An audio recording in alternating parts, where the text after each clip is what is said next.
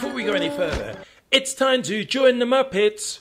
Uh, It's time to say goodbye. Uh, one dumpster fire at a time. It's time to ignore the Muppets on the most sensational, celebrational. This is what they call the Muppet Show.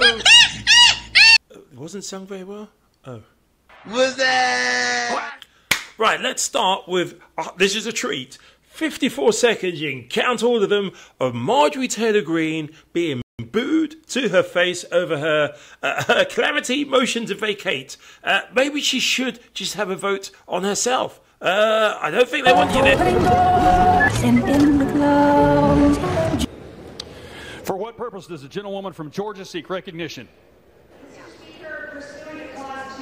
One of Rule 9, I seek recognition to give notice of my intent to raise a question of the privileges of the House. The form of the resolution is as follows. Declaring the office of Speaker of the House Representatives to be vacant.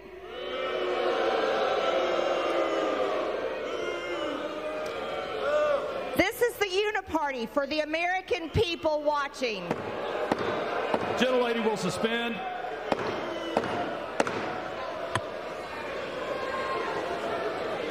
Order. Ted Cruz, it's been a minute since Senator Cupid Stunt opened his trap and went for it, and he's he's weighed in on the Stormy Daniels and the guy that said his dad um, assassinated Kennedy. Uh, you keep it up. Uh, trying to do to, to, to get this attenuated. And by the way, the testimony of Stormy Daniels was salacious. Dad, hurry, I'm gonna be late. sorry to interrupt, but what were you talking about? Uh, politicians paying people? Point of it. Listen, there is no person on planet Earth that believes Donald Trump has been celibate all his life. That is not news. But they want it. It's suffering. The Nike swoosh had a slogan to go with it, which I think is perfect in this particular scenario. Just do it. All this talk about, oh, if Trump goes to jail, this is going to happen and that's going to happen. Uh, well, bring it on. Uh, Ted Cruz, by the way, Ted Cruz has joined the bandwagon of you can't possibly lock up somebody who's got 90 felons and is breaking every single gag order. Trump in jail. The short answer is I believe the answer is no. I don't think the judge will. He'll keep putting fines on him, but I don't think he'll put him in jail. I think if he tried to put him in jail, I think the Court of Appeals would reverse it. They're not going to let Trump go to jail in the middle of this election. And I'll tell you what, if miracle of miracle, the corrupt New York courts did actually send Trump to jail, Trump would win over 300 electoral votes in November. You want to talk about shocking the voters that this is garbage? That would do it. And, and these people are so consumed with partisan hate that, that, that, that they're willing to abuse power, and that, that, that willingness has no limit. Just a question Is Lindsey Graham the oldest virgin in Congress? Because he looks like, what do you know what I mean? He just needs well, something. Something is missing in Lindsey Graham's life. He really should just go ahead and fornicate. One, two. What is Joe Biden's response to withhold weapons in a war that Israel cannot afford to lose? What did we do after we were attacked? What did we do to end the war against the Japanese? We dropped two nuclear weapons on two Japanese cities to make sure our soldiers didn't have to invade Japan where you could have a million lives lost. What is Joe Biden doing? He's making it impossible for allies throughout the world to trust us. He's making it hard on Israel to win. Well, it's a bit of a split decision here between saying HUH and that well known phrase, here's the damn stupidest thing, with swear word involved, you've heard all day. So I'll leave it to you. Kellyanne Conway is opening her gob at, well, go for it, please. You combine the Get Out the Vote program by all the government agencies on the college campuses with the student loan forgiveness. You got a president not paying $130,000 to a porn person. I don't say star because that's an opinion and I don't share it. I have no basis to form it. Uh, but you, you combine that. And you know what, Jesse? Here's what's scary about it. Uh, but seriously speaking, they'll overplay this. They're, they gave her, now she's the abortions are always a Russian title to, to break an issue. By Uh, do you want to add something else to the huge long list of things that Lara Trump knows absolutely nothing about, but um, projects and projects, whatever the word is, as if she is some scholar on it? Uh, we'll do basic recent history now. shutting down the Keystone XL pipeline, inflation, continues to go up because of it. Our gas prices we know are high. Gives us uh, on the world stage just a really weak position. You probably wouldn't have seen the war with Russia and Ukraine without that decision. You wouldn't see the war with uh, Israel and Hamas without that decision. Really dumb stuff. Biden administration. At this stage, we just need a, a moment to collect our thoughts and escape the nonsense. So uh, we have President Biden, who actually did a very good sit-down interview with um, Erin Burnett. This is the moment he was talking about things that actually are important, like jobs and the economy. So Trump attended a groundbreaking here where we are for Foxconn. Um, he promised 13,000 jobs, and only about 1,000 of those actually exist right now. So I know you're promising more than 2,000 union construction jobs and that 100,000 people are going to get trained in AI here. Why should people here believe that you will succeed at creating jobs where Trump failed? He's never succeeded in creating jobs, and I've never failed. I've created over 15 million jobs since I've been president. 15 million in three, three and three quarters years. And secondly, Microsoft is a serious player, and they're very much engaged in making sure that they pick this area as a, as sort of the the home base for their AI initiative in the nation. I'd love a medical expert because this is really beyond anything you can find. I just don't know what to say with regards to this, uh, the fact that RFK has discovered that he has worms in his head. I just ask you guys one more thing. The, the, New York Times, and this has nothing to do with, well, it has to do with the presidential election, has just come out with this extraordinary, uh, bizarre uh, article on RFK. And they're reporting that doctors, in a deposition, that RFK said doctors found a worm in his brain that had eaten part of his brain and then died there. I mean, you laugh, but I mean, what Jason. what might this mean? I mean, what might this mean to, to an election to, to hearing that he said this it, in a it deposition? probably means, and one of the things that I tell my clients all the time is try not to go into depositions high. When I was growing up, there used to be a TV show called Wish You Were Here, which is kind of a travel show. Uh, it was on British TV and went to all of the glamorous locations in the world. Uh, I've got an updated version. Just insert Wish You Wasn't Here. Uh, former guy had a bit of a shindig Wednesday night at Mar-a-Lago. Yes, he flew all the way back from New York, where he's got a little bit of a story problem, to have a NFT party. Now, the expression you could say, well, we could ask the question, was it lit? Uh, no. Think of another word that rhymes with lit. Starts with S. About eight months ago, we had one of these meetings. Who was it the last time we came to Mar-a-Lago? Oh, That's right. Oh. The best looking people I've ever seen. Let's go. they come in and I say, oh, yeah, yeah, I can't. I never wanted to leave. In fact, I was supposed to leave about an hour ago, and they didn't mind. You know, I have a fake trial going on with these. fake news. Fake news Horrible people, they drummed up some nonsense. It's a shame for America, it's a shame, but we've never had better poll numbers. Poll numbers are the highest we've ever had. We're beating crooked Joe Biden by a lot, both in the national polls and in the swing states. We're beating him uh, one I just saw today, we're leading by a lot in every single. And I guess I can call you articulate since you're not an American black. Um, can't can't say that about them. That's that's derogatory. Um, and that was a great opening segment. Lots of things to talk about there. I still would not have voted for you um, because you're an Indian. Somebody needs to just take a few moments and explain Mitch McConnell to me because I don't get it. You really think him and Trump like each other? Switch McConnell? Literally, the stuff, all the things he's come up with, and now he's in Trump's corner. Is it anything for power? Is he desperate? What exact? Just explain this. Yeah. Given all the allegations that have come out against the former president in the criminal hush money trial, including covering up an alleged affair with Stormy Daniels, does it give you any pause in supporting him for president? Look, I have said to you all, and basically to you every week. I, I don't blame you for trying, but I'm not going to be commenting on the presidential election. I'm going to concentrate on trying to turn this job over to the next. Fascinating thing about Trump, there's literally a whole circus of people who make a career off his, name. Uh, some of them have worked for him, like Scaramucci. Uh, another one is Omarosa. Uh, and this is the thing, they've actually worked for him. So you always do take a little bit of pinch of salt when they speak. But anyway, Omarosa is now back on cable news, getting her money, and uh, the latest. I should got to check for it, but just put it out there. The latest little bit of scandal for her, as far as she's concerned, is he pays people off. Well, it's hardly a surprise. My thing is, why didn't you say it when you had a seat at the table? Seems simple enough. It was terrible.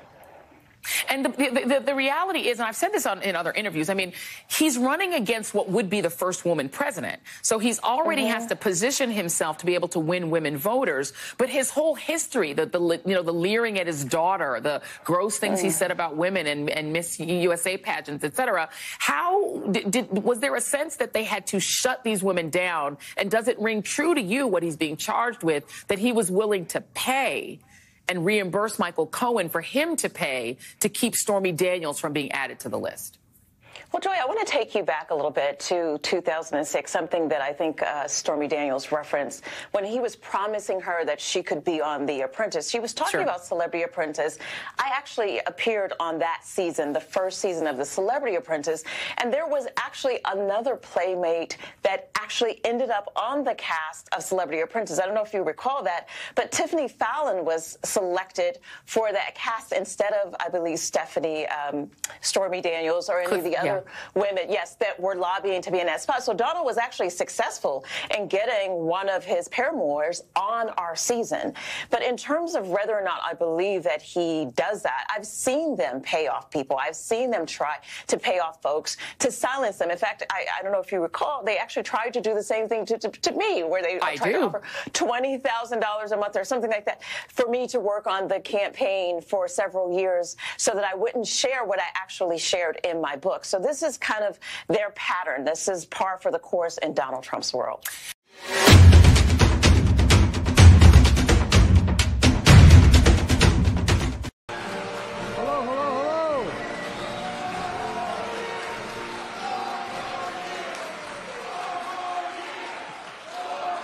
Thank you, thank you, thank you. Hello, Wisconsin. Nick, thanks for that introduction. Look, before, uh, before I get started, I want to set the record straight. Please sit down. I went to uh, a Catholic high school in Delaware taught by the Norbertine priest from St. Norbert's College. Uh, you know, a, a little, town, a little team called Green Bay. Now, here's the deal. We were the only high school in Delaware that overwhelmingly rooted for Green Bay. Not a joke, I'll tell you why. Every single Sunday. Not only did they have great teams at the time, we still do, but not only that, my theology professor at the Catholic school I went to was a guy named Riley, last name and he had been drafted by the Green Bay Packers. And he decided to become a priest before that, so he didn't go. But every single solitary Monday that Green Bay won, we got the last period of the day off. now, we Catholics call that indirect bribery, but it worked. It's always great to be with one of the best governors in America, Tony Evers. Tony,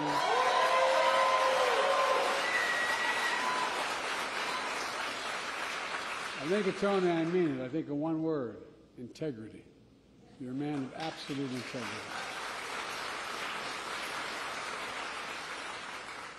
And uh, what I'm really doing, I'm really auditioning for a job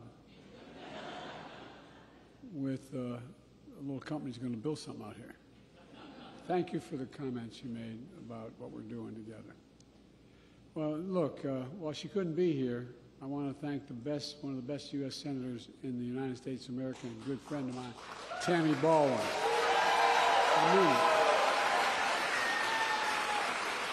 You also got a great mayor in Racine. Cory Mason.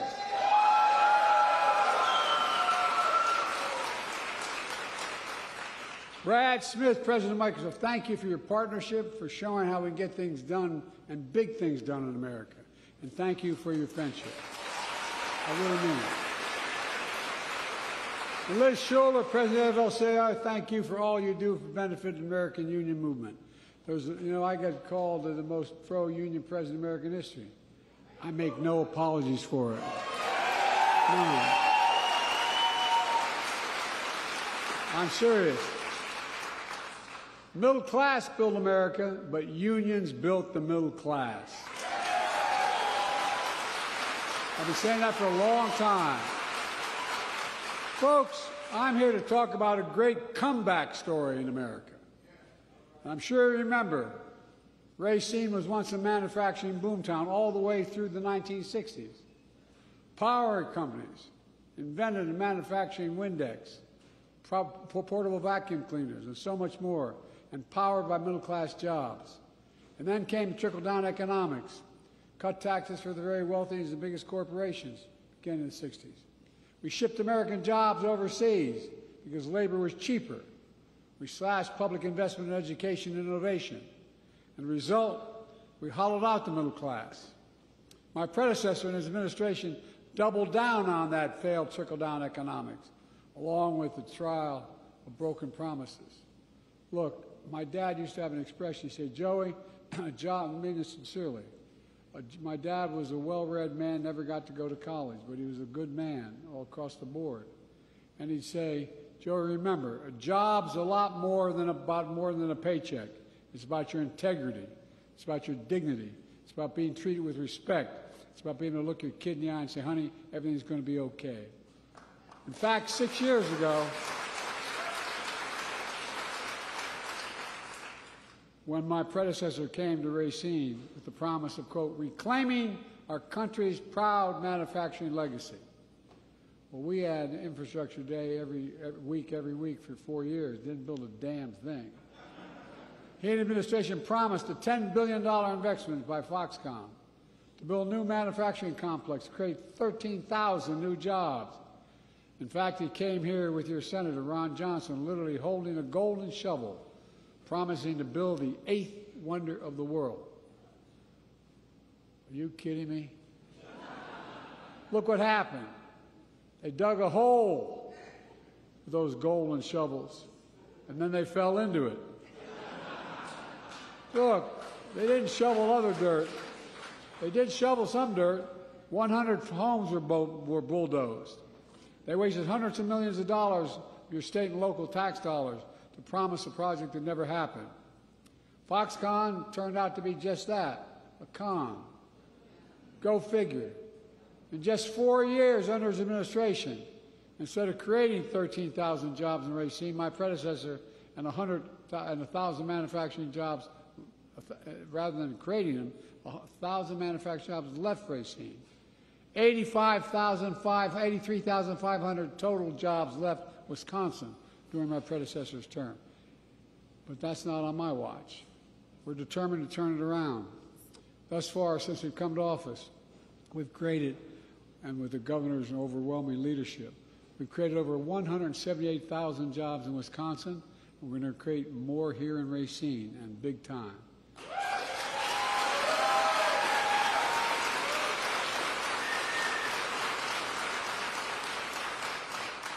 Some of my friends on the far right have criticized my Investing in America agenda, my, which includes my bipartisan infrastructure law, the CHIPS and Science Act, and the Inflation Reduction Act. A lot of business businesses are supported as a key to economic growth that we're seeing now. Remember here, you're going to have a recession next week, a recession next week, no soft landing. Well, in fact, I've asked business leaders like Brad a simple question. When the United States decides to invest considerable resources in a new industry, that we need to build? Does that encourage or discourage them engaging? The answer overwhelmingly is it encourages business investment. And that's what we're seeing now with our administration.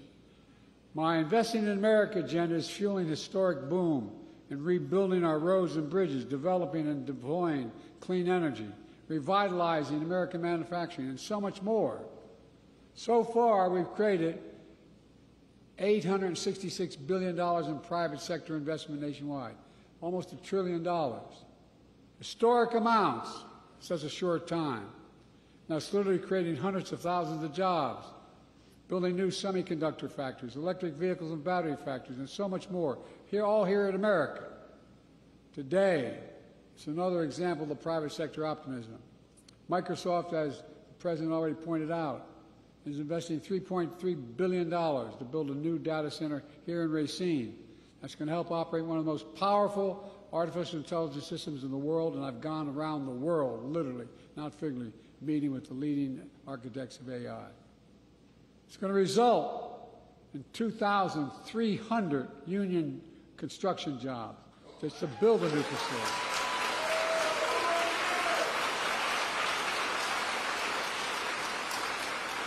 And 2,000 permanent workers to work in the data centers. In addition, we're also providing a pipeline to train these for new, these new jobs. A pipeline that starts right here at this very spot. Microsoft is partnering with Gateway Technical Community College right here to train and certify 200 students a year to fill high demand, good paying jobs in data and IT at Microsoft's new AI Data Center here in Racine. But that's not all. In addition, Microsoft is continuing a pipeline going to high schools in nearby Mount Pleasant to train high school students for jobs of the future. As the boss pointed out, it's going to create 100,000 jobs over time. It's all part of Microsoft's broad plan to build an artificial intelligence ecosystem right here in Racine. And it's going to be transformative, not here, just here, but worldwide. It's not only significant investment in infrastructure in Racine, but for the people of Racine. It means folks are getting trained. Folks are getting trained in new, high-paying, high-skilled jobs that don't require a four-year college degree and don't require you to leave home. You know, where I come from, that really matters. I know what it's like when your parents have to move the family in search of work because there's no jobs. What it does to the family's dignity. My wife, Jill, who teaches full-time at a community college, cares a lot about this as well. Last year, she announced our first five workforce hub sites to build a pipeline of workers and industries that create the new hometowns that are creating new, there are new hometowns in Phoenix, Baltimore, Columbus, Ohio, Augusta, Georgia, building everything from semiconductors to electric vehicles. Last month, I announced four new hubs to continue to train workers for the jobs of the future, one of which is in Milwaukee, that trains workers to help replace every poisonous lead pipe in America in a decade and funded by the infrastructure law.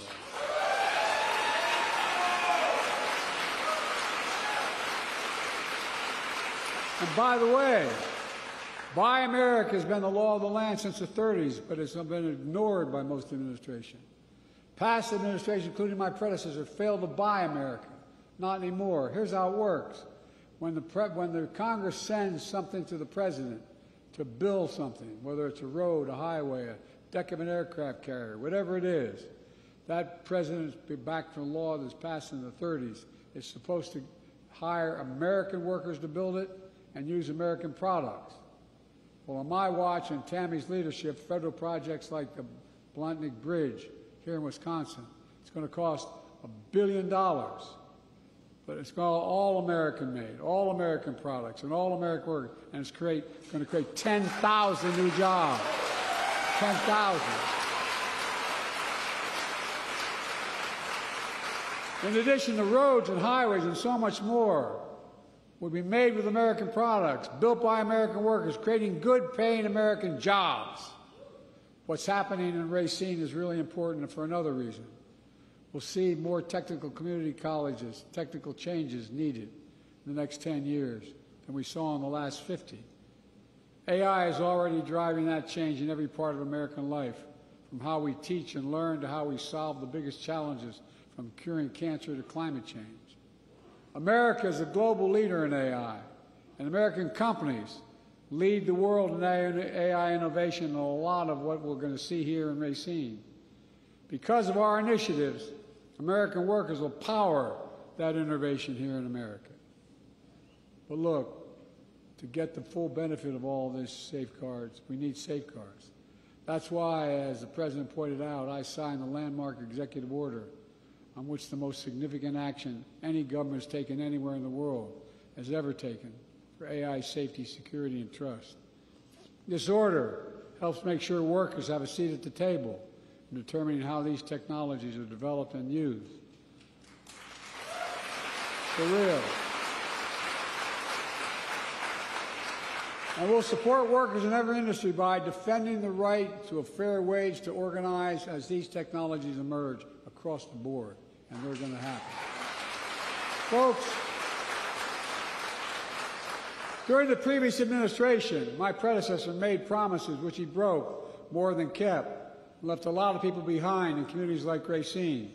On my watch, we make promises and we keep promises. And we leave no one behind. Since I took office, we've added nearly 4,000 jobs in Racine. As I said earlier, we've added 178,000 in the state of Wisconsin. The unemployment rate has hit a record low in Racine. Racine has seen some of the strongest new business growth in all of Wisconsin. And it's only just beginning. We're seeing a great American comeback story all across Wisconsin, and quite frankly, the entire country. The bottom line is we're doing what's always worked in this country, giving people a fair shot, leaving nobody behind, and grow the economy in the middle out and the bottom up, not the top down. When that happens, everybody does well. Everybody does well.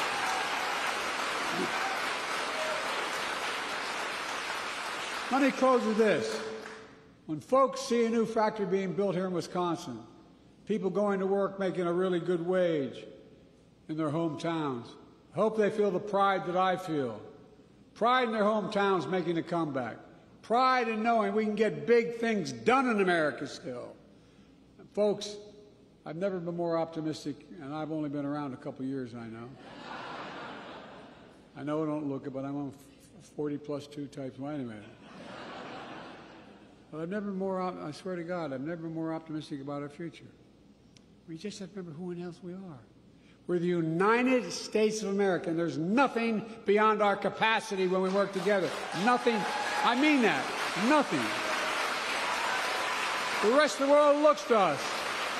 So keep it going. God bless you all, and may God protect our troops. Thank you, thank you, thank you.